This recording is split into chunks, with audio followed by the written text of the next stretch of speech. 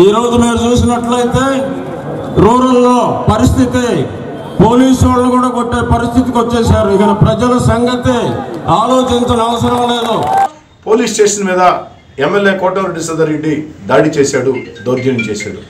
ఎంత నవ్వులాటగా ఉందంటే ఒక పోలీస్ స్టేషన్ మీద దాడి చేస్తే తిరిగి వెనక్కి వచ్చే పరిస్థితి దాడి చేసే వ్యక్తులకు ఉంటుందా?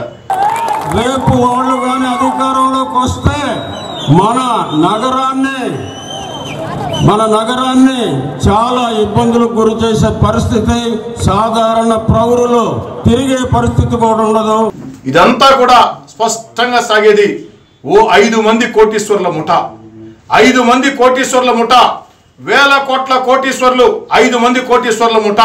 నెల్లూరు రూరల్ నియోజకవర్గంలో వైఎస్ఆర్ కాంగ్రెస్ పార్టీ టికెట్ నాకు రాకూడదని చెప్పని అనేక రకాలుగా ప్రయత్నం చేసి విఫలం చెంది అహం దెబ్బతిని ఈ రోజు నన్ను ఓడించేదానికి ఐదు మంది కోటీశ్వర్లు సాగిస్తున్నటువంటి కుట్రే ఇవన్నీ కుట్రలను తెలియజేస్తా ఉన్నా. పోలీసు వాళ్ళని కొట్టబోయి అక్కడికి పోయి వాళ్ళని దుర్భాషలాడి వాళ్ళు అరెస్టు చేస్తే దాన్ని నారాయణ గారు జయించారు ప్రభాకర్ రెడ్డి జయించారు చంద్రమోహన్ రెడ్డి జయించారని వాళ్ళ పిల్లల చేత అబద్ధాలు ఈగుల్లోకి తీసుకొచ్చి అబద్ధాలు చెప్పించారంటే వాళ్ళ డ్రామాలు ఎంత దూరం పోయినాయో ఒక్కసారి మనం అందరం కూడా ఆలోచించాలి.